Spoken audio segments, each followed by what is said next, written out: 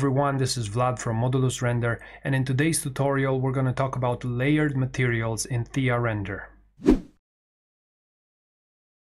I recently had a project where the client wanted me to make uh, this type of custom tiles and I want to create a single material organized on layers that would have a different layer for each type of tile because I want to put this texture on all kinds of shapes, uh, cubes, spheres, curved walls, and I don't want to model each individual tile in 3D.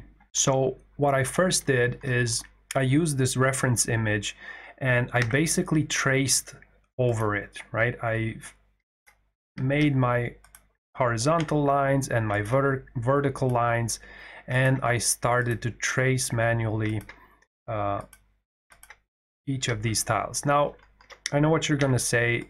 That seems pretty boring, so I'm not going to do that right now, but it took me like 20 minutes or half an hour. And then I had this. I wanted to uh, color code it because I'm going to use this uh, trace as a material. So I just modify the colors. So I want one texture to be all white like this and another one I'm going to use as a mask for the um, for the metal tiles like that and then I'm just going to invert the, the texture.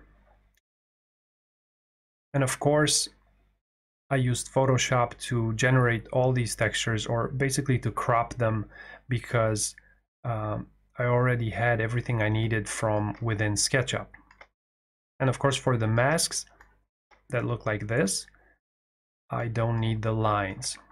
So that's pretty easy. I just go to edge style and disable the lines. And like this, I exported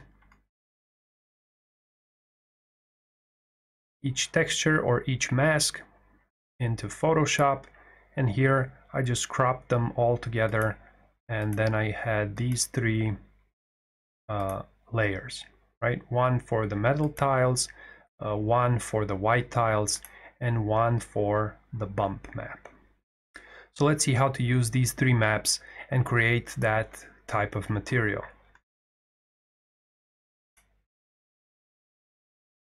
Now this is the scene I usually use for uh, material creation.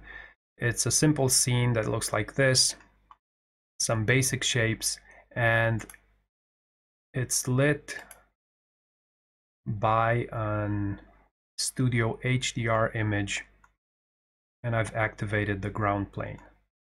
Let's see how it looks. This is how the scene looks so far and I'm going to use this back wall to make my tiles material. The first thing I'm going to do is select the color and then add a texture to that color. I'm going to use the tiles bump map.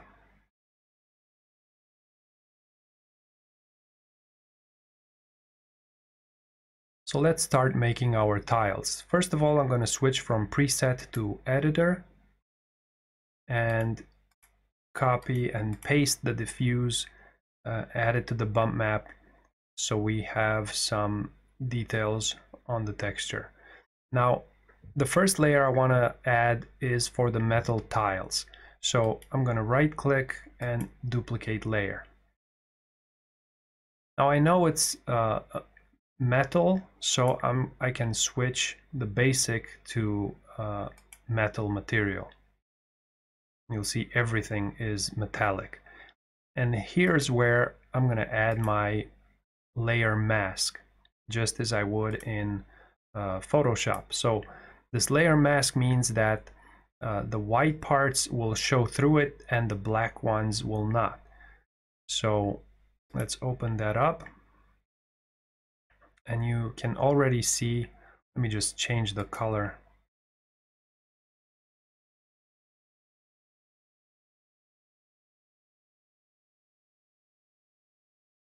Something like this and add some roughness to it.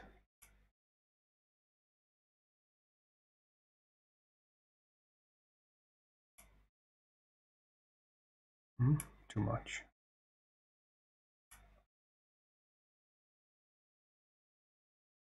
Let's go to wall so we can see it better. Okay.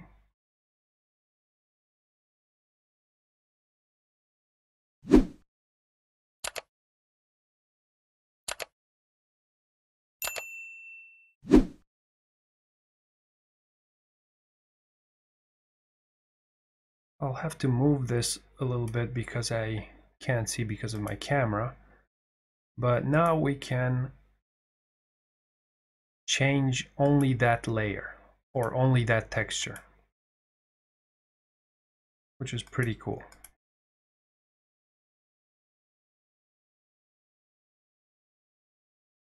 Okay, so now let's add another layer. Just duplicate this one and I'll move it up up here and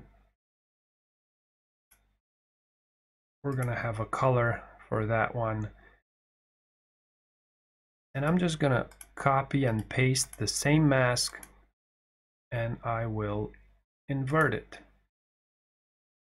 So you see now I have a layer for all the tiles that were white and I have another layer which is this one for all the tiles that are metallic. And now I can just uh, change them, play with the colors and the reflections uh, until I have what I'm looking for. So in this case, I didn't want the tiles to be completely white. So maybe like a light gray or, or a beige color, something like that. And of course, with some reflection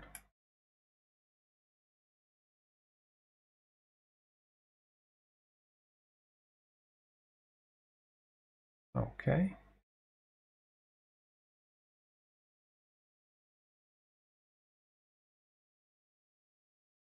let's see how this texture looks in our scene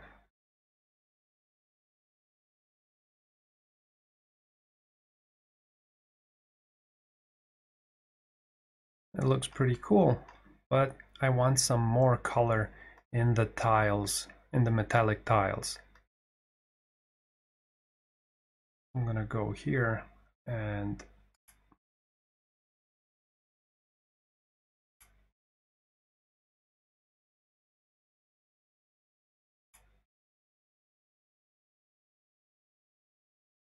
increase the roughness a little bit so it's not like a mirror.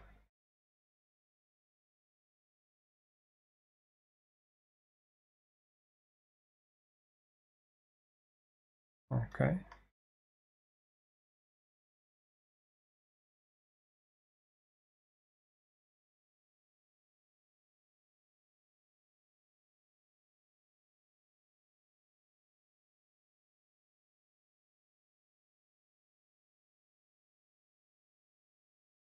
Now I think this layer is blending with the bottom layer. So let me see if I decrease the brightness of this one. Yep. So because the, the bottom layer is uh, a white diffuse map, it's blending with it and the colors are pale. So by controlling the brightness, you control the, um, the blending effect of the two layers.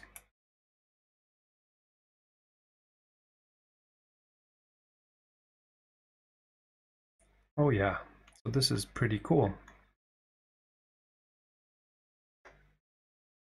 And now just right click and save material.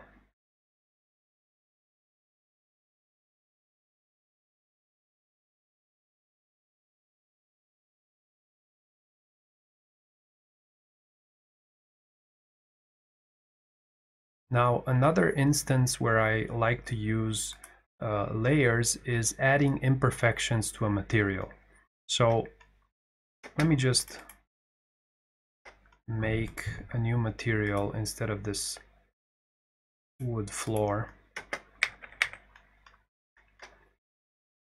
And I'll add a texture to it.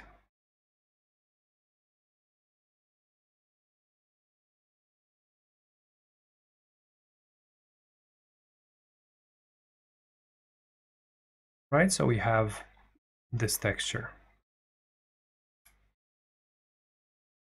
for this material. Switch to editor and let's just start the render and add the layers. Okay, so first of all, I'm going to add some reflectance and roughness and uh, normal maps. So reflectance, sorry, bitmap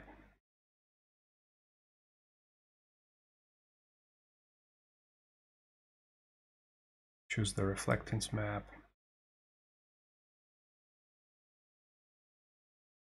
It's very reflective and then the roughness map.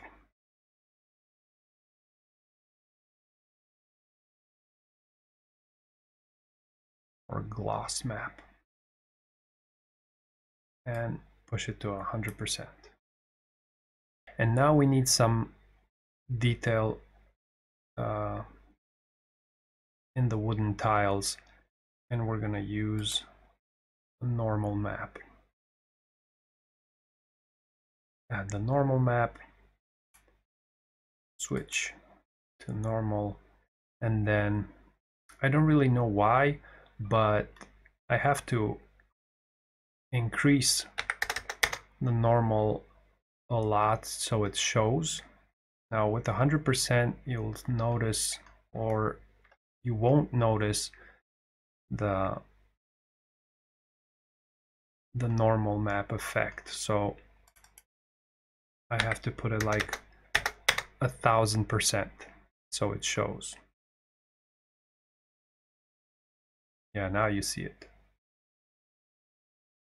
it's more visible now what I like to do when adding imperfections is have two layers. One of the layers will be the clean material and then the top layer will be the dirty, uh, scuffed um, material. So the way I usually do it is I have my clean wooden floor in this case and then right click, duplicate layer and add uh, imperfection maps. It's good to have uh, a lot of imperfection maps so you can play around with scratches and scuffs and stains and fingerprints and smudges and all of that which is really fun so let me just go to the top layer here and I'm going to mix the diffuse map with a bitmap I'm going to choose these smudges over here like that.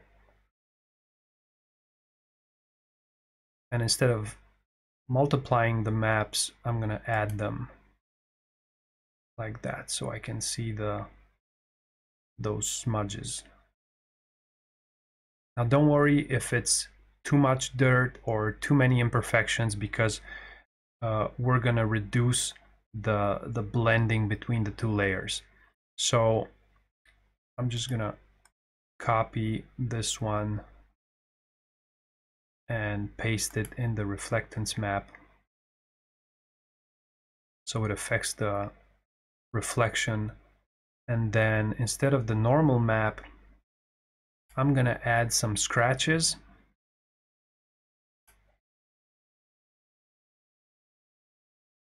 Let's see what do we have here scratches light Whoa. Maybe this one.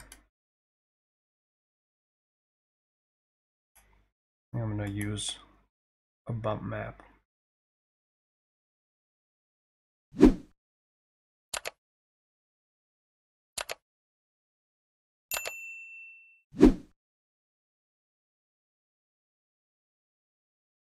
Now we can start to see the the spills, the smudges, and those uh, scratches. We can reduce them.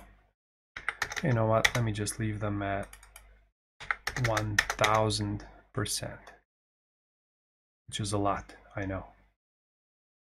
But as I said, even if we go overboard with the fingerprints and the damage that we create in the texture, um,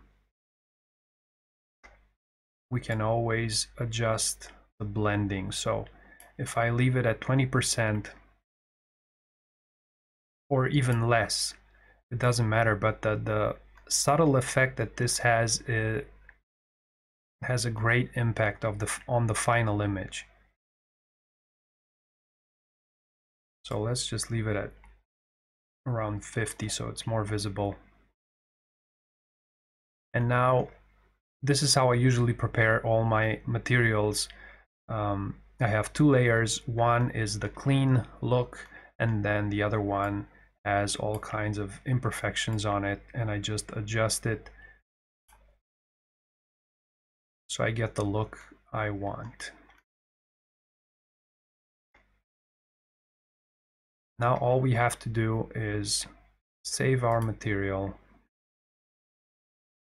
and add it to the final scene. Now this is the interior scene where I wanted to use the, the custom tiles and the, uh, the wooden floor that we just prepared. So I added these to the walls and to the floor and I'm ready to set up the final render. This is um, simple interior with my trusty light panels in the windows. I added uh, another light panel here, just a simple rectangle with an orange tint because I wanted some uh, warmth in the final image. So I want some orange light or uh, warm light coming in. And set up my camera and let's see how it looks. And this is how the render looks. We have our tiles material, we have our floor, we have the lighting set up. Now we can just set the camera and render our final image. Now this is the final render that I did using this technique. If you found this information useful, don't forget to subscribe and hit that like button and I'll see you in the next tutorial.